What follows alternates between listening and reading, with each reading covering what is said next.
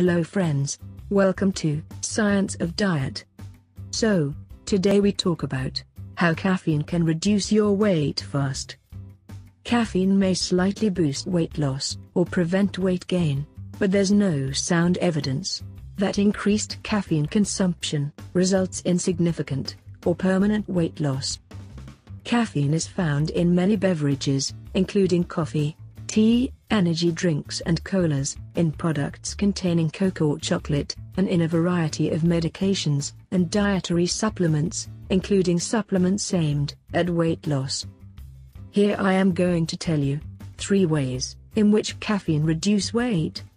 First, caffeine may temporarily support lipolysis, the breakdown of fat.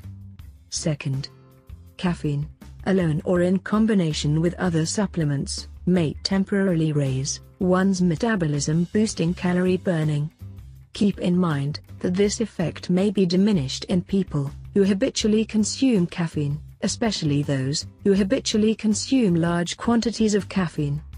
Third, people will doubt that tea is one of nature's best drinks. And, research continues to examine the many potential benefits associated with tea consumption.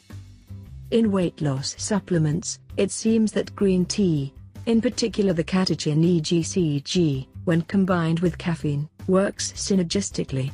This combination has been suggested to boost circulating levels of norepinephrine, which stimulates the breakdown of stored fat and stored carbohydrate. So, that's it for today. I hope you liked the video. Please hit like and subscribe my channel for more videos. Also, do not forget to share this video to your friends and family. Bye bye, take care.